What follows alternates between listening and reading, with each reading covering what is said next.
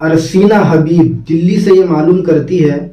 कि अगर कोई अपने दांतों पर केप या कवर वगैरह चढ़वा ले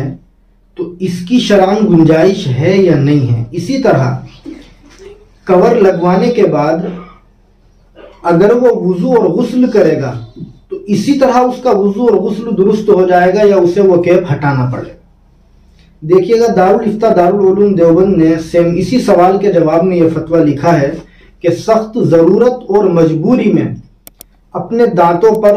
खोल चढ़वाना, केप लगवाना जायज़ और दुरुस्त है और लगवाने के बाद वो खोल और केप वगैरह, चूँकि दांत का हिस्सा बन जाता है, इसलिए वज़ू और गसल में उसको उतारने की और अलग करके वज़ू और गुस्ल करने की ज़रूरत नहीं है उसको उतारे बगैर भी हमारा वज़ू और गसल शरान दुरुस्त हो जाएगा।